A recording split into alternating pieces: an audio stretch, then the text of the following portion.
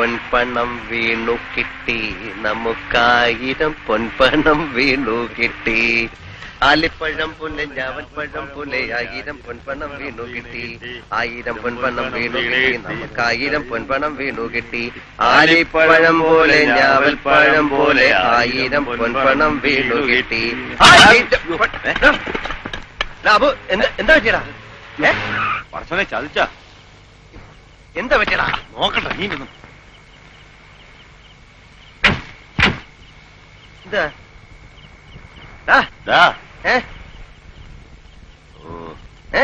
Axle ഒടിഞ്ഞു കേട്ടാ. അയ്യോ നിന്റെ കൂടെയൊക്കെ ഈ വണ്ടി കയറി എന്നെ പറഞ്ഞാ മതി. ഇവിടെ അടുത്ത് വല്ല വർക്ക്ഷോപ്പ് ഉണ്ടോ നോക്കാം. വർഷാപ്പ് ഉണ്ടായിരുന്ന കാര്യമില്ല. നേരം വെളുത്ത് പുതിയ ആക്സിൽ വാങ്ങിച്ചു വന്നാലേ നന്നാക്കാൻ പറ്റൂ. അഞ്ഞൂറ് രൂപയും പോയി. ഉറക്കവും പോയി. അഞ്ഞൂറ് രൂപ പോകുന്നേ പോട്ട്. ബാക്കി രണ്ടായിരത്തി അഞ്ഞൂറുണ്ടല്ലോ ഉറക്കം കളയാൻ ഞാനില്ല ഞാൻ ഉറങ്ങാൻ പോവാ. ചെന്നേരം ഉറങ്ങ്. ഓ ഗുഡ് നൈറ്റ്.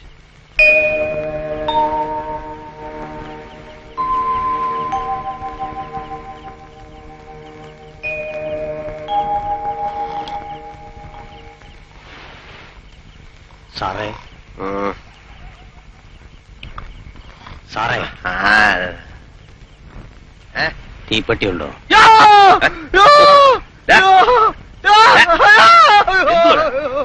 തന്ത ആ പഴം തന്ത ദോ എവിടെ? ഇവിടെ. യോ!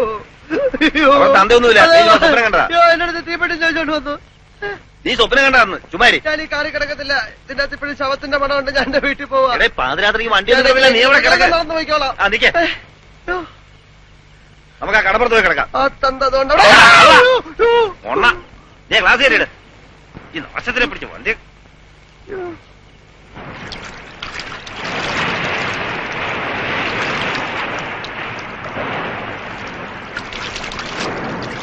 ഏ ആൾക്കാരുടെ മുഖത്ത് ഞാൻ ഇനി എങ്ങനെ നോക്കും?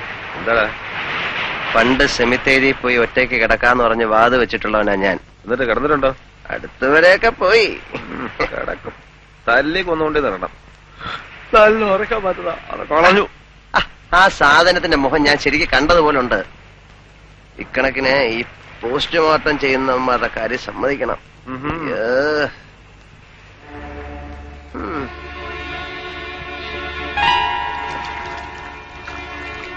എന്തുവാടാ ദൂണ്ട കണ്ടോ? അയാളാണോ? ദൂ എന്താ? എന്താ നാടാ? ഒരു ലൈറ്റ് ഞാൻ കണ്ടു.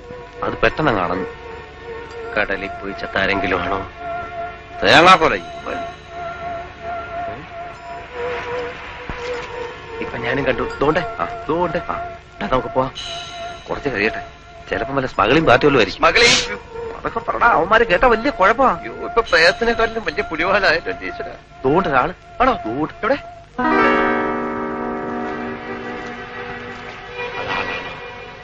ശിവ ദോണ്ട അവിടെ. അവിടെ? അവിടെ രണ്ട് കാൽ. അയ്യോ കാലോ? നോക്ക.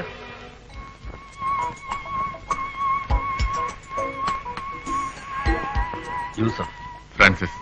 സീബർ ജേക്കബ്. കാറിലുണ്ട്. ചരക്കെത്തിയിട്ടില്ല. രണ്ടു ദിവസം ലേറ്റ് ആവും. അതെന്താ? ബോംബെ കസ്റ്റംസ് ഇത്തിരി സ്ട്രോങ് ആണ്. അതുകൊണ്ട് നിഷ വഴി മാറിയാണ് വരുന്നത്. ഓഹോ. എന്തായാലും ശനിയാഴ്ച രാത്രി സാധനം ഇവിടെ എത്തിയിരിക്കും കൊച്ചിയിൽ രണ്ടാൾ കൂടി മെസ്സേജ് കൊടുക്കാനുണ്ട്. ഞാൻ വരട്ടെ. ഓക്കെ.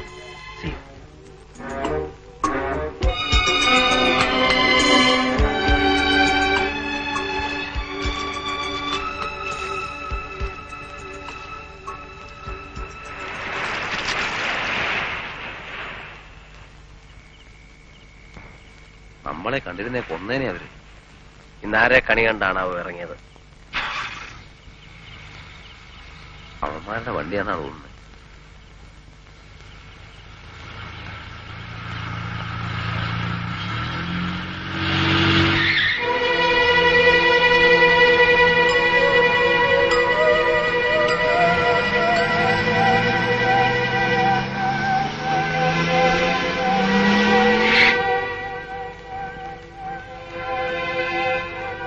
എന്തു പറ്റി? വണ്ടിയുടെ ആക്സിൽ ഒടിഞ്ഞു.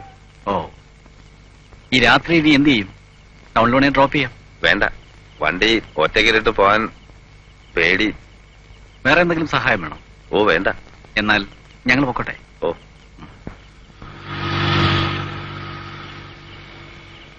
കണ്ട കള്ളക്കടത്തുകാരാണെന്ന് പറയത്തില്ല.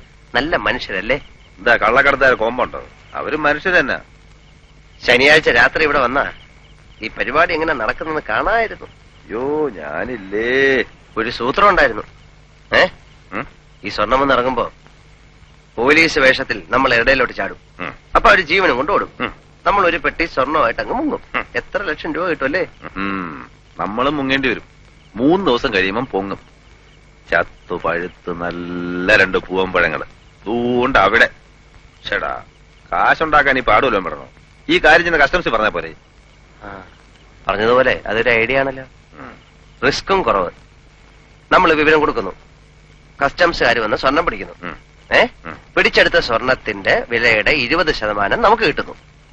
പത്ത് ലക്ഷം രൂപയുടെ സ്വർണം ഉണ്ടെങ്കിൽ രണ്ട് ലക്ഷം രൂപ. എന്റെ അമ്മു നമുക്കതങ്ങ് കാച്ചാം.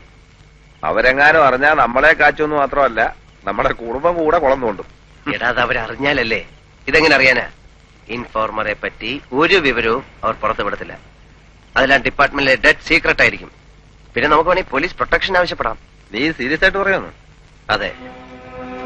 എടാ നമ്മൾ രക്ഷപ്പെടൂടാ ഭാഗ്യം ആ തന്തയുടെ ശവത്തിന്റെ രൂപത്തിൽ വന്ന് നമ്മളെ ഇവിടെ കൊണ്ടെത്തിച്ച അല്ലെങ്കിൽ നമ്മളിവിടെ വരാനും ആക്സിൽ ഒടിയാനും നമ്മളെ സ്വപ്നം കാണിച്ച് പേടിപ്പിച്ച് പുറത്തിറക്കി ഇതൊക്കെ കാണിക്കാനും അവസരം ഉണ്ടായതെങ്ങനെ തീക്കളിയാവൂ ഒരു മണ്ണാങ്കട്ടയില്ല.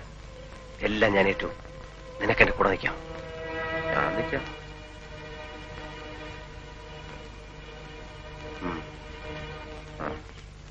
ഇങ്ങനെ ഇങ്ങനൊരു ഐഡിയ തോന്നിയപ്പോ നിന്റെ മനസ്സ് വെച്ചാ പോരെ? അത് അബുവിനോട് പറയാൻ പോയത് എന്തിനാ? ഇപ്പൊ പകുതി അവനും കൊടുക്കണ്ടേ? കൊടുക്കണം. എടാ ബുദ്ധി വേണം ബുദ്ധി. എനിക്ക് ഇത്ര ബുദ്ധിയേ ഉള്ളന്നേ. ഇതിന്റെ ഒരു പങ്ക് കിട്ടണമെന്ന് വലിയ ആർത്തിയൊന്നും അബുവിനില്ല ആ എങ്കിലും അവൻ പിന്മാറിക്കോട്ടെ നമുക്ക് ഇൻഫോം ചെയ്യാം. നിനക്ക് ഒറ്റയ്ക്ക് പോകാൻ പേടിയാണ് ഞാനിവിടെ വരാം. കിട്ടണം നമുക്ക് ഒന്നിച്ച് പങ്കുവെച്ചുകൂടെ? ഇങ്ങനെയുണ്ടോ ഒരു അത്യാഗ്രഹം? ഇൻഫോം ചെയ്യുന്നുണ്ടെങ്കിൽ അബു ഉണ്ടാവും കൂടെ. ഇവൻ ഇത് ആർക്കും ആർക്കും ഉപകാരമില്ലാതാക്കും ഒന്നുകൂടെ ആലോചിച്ചിട്ട് മതിയും തന്നെയാണ് എനിക്കും. കുഴപ്പമുണ്ടാവണ കാര്യമാണെങ്കിൽ നമുക്ക് വേണ്ട ആ കാശ് ഇനി എന്താ ആലോചിക്കാനാ ആലോചിച്ചാലോചിച്ചിരുന്നോ മിടുക്കന്മാര് ചരക്ക് കൊണ്ടുപോകും ഇതാണേ പണ്ടുള്ളവർ പറയണത്. എറിയാൻ അറിയാവുന്നതിന്റെ കയ്യിൽ വടി കൊടുക്കണം. ഞാൻ വടി ബാലേട്ടന്റെ തരാം. ബാലേട്ടനെ അങ്ങോട്ട് എറി. ആ അബു വന്നല്ലോ. എന്റെ അബു ഇവന്റെ കാര്യം വിട്. ഇവൻ അത്രയ്ക്കുള്ള വൈഫേ ഉള്ളൂ. നീ ഇതുമാതിരി ആയിപ്പോയല്ലോ.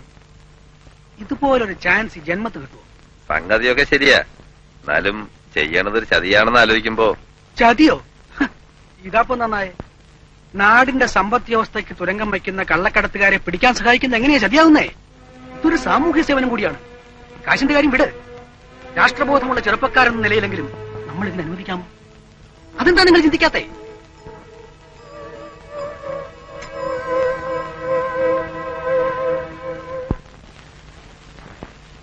എത്ര മണിക്ക് ഏത് സ്ഥലത്ത് വെച്ച്? അതിനെക്കുറിച്ച് അവർ വല്ലതും സംസാരിച്ചോ?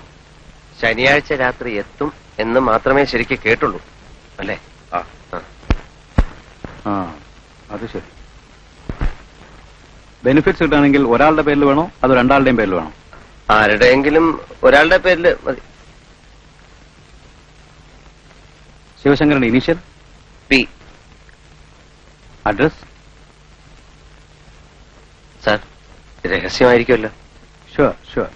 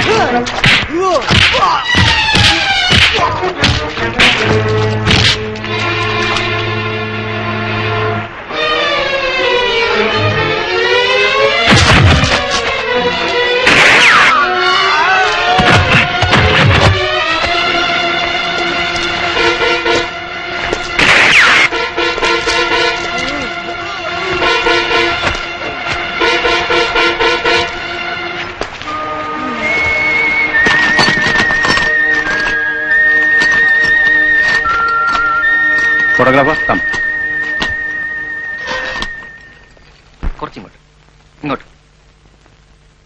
Sir please sir കൂടെ